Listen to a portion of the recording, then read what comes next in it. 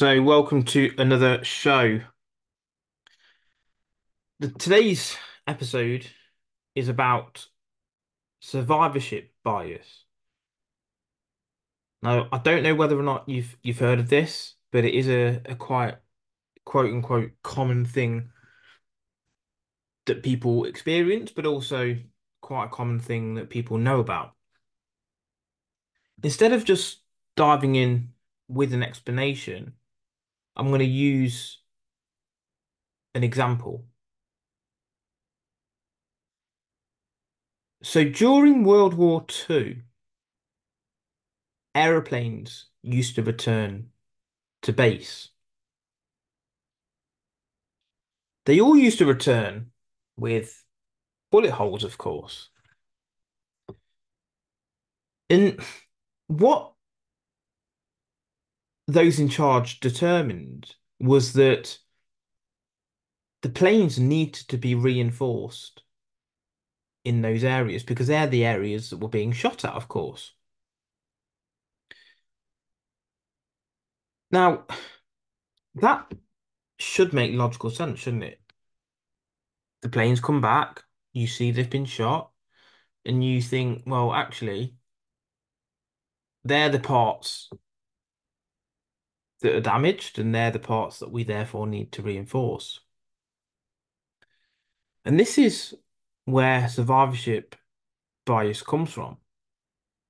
Because if you think about it logically, if they've returned with those holes in the planes, it means that they have survived. It means that those planes have come back. They've been hit in in certain areas, but they have still returned.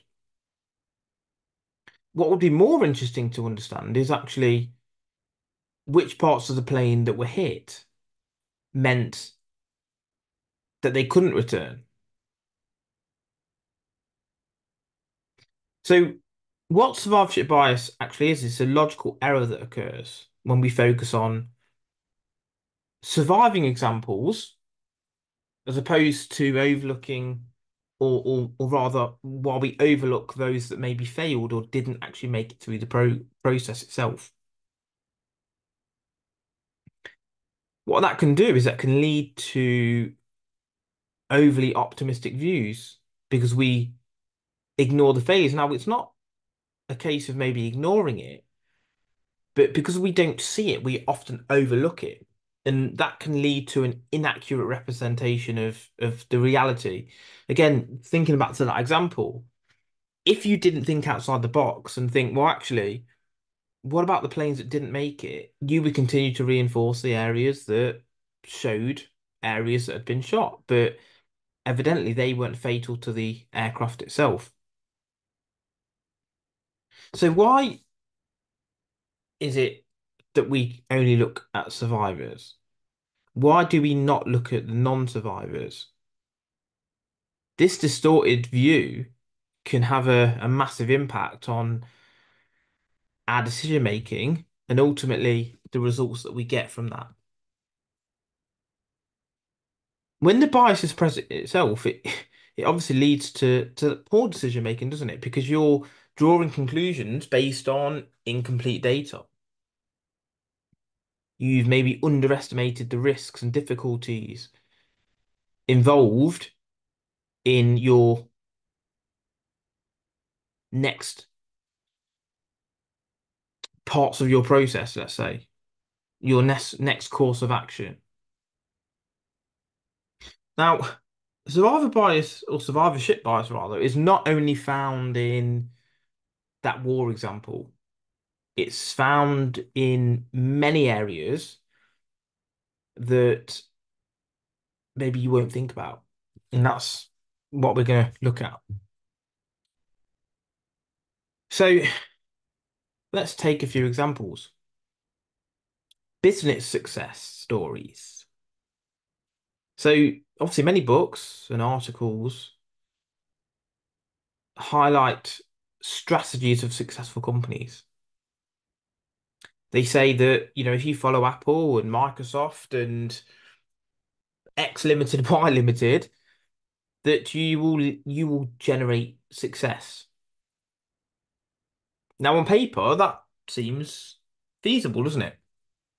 If we follow and copy a similar narrative to J.K. Rowling, let's say J.K. Rowling, will we create a novel or set of novels as successful as her?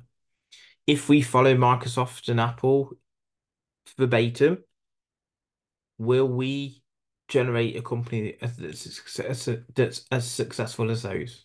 Probably not. Because what we ignore and don't include is the countless companies that maybe followed a similar strategy but didn't achieve success. It's hard to actually take that data into account, isn't it? And that's the whole point of survivorship bias. You see success, you think, okay, this is what caused it, let's do that. But it doesn't take into account the non-survivors. Health and fitness might be another one. Fitness programs will show you success stories, won't they? Of individuals who followed this program or that program, slim fast or whatever else, and achieved success. But it didn't include those people who didn't see success from from those programs or dropped out for whatever reason, whether it's injuries or motivation. So again, how can we know that that's the best course of action? It happens in universities as well, in any form of education. Universities, Oxford, Cambridge, Harvard, they will often boast about the success of their graduates. And they will sort of imply that if you come here, you are guaranteed success. But what about all of the other people that went there but didn't achieve success? It could be private school, it could be university, as I've said, it could be a training program. But they aren't included in the data, especially the data that you're going to see. So you can start to get a picture of this, aren't you now? Actually, can we just follow those who are successful and hope to achieve success? I would probably say no. I would say that there's more to it than that. So how can we avoid survivorship bias?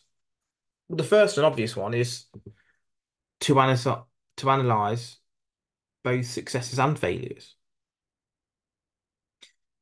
Because then you can look at all of the data and understand understand what's important and why something failed, why something succeeded, and actually, is it that itself that caused success, or are there other variables that maybe we're not looking at?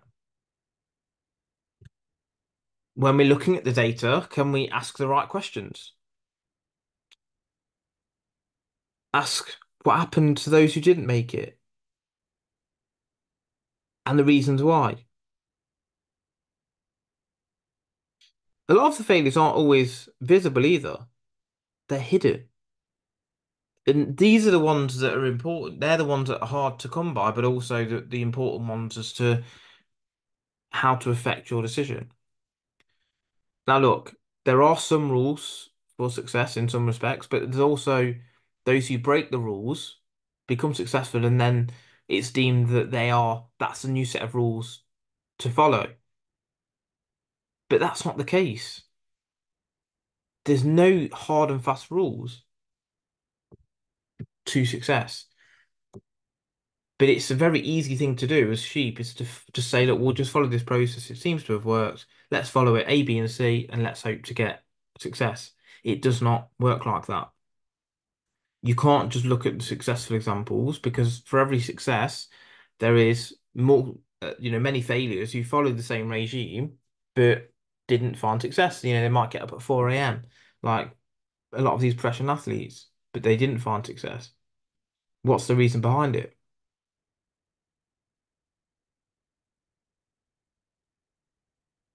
So what we have to do is learn from a broad range of examples and avoid perspectives that may be skewed in nature. Because what survivorship bias essentially does is to distort our understanding and affects our decision-making progress. Because what we do is we overlook failures and unsuccessful attempts.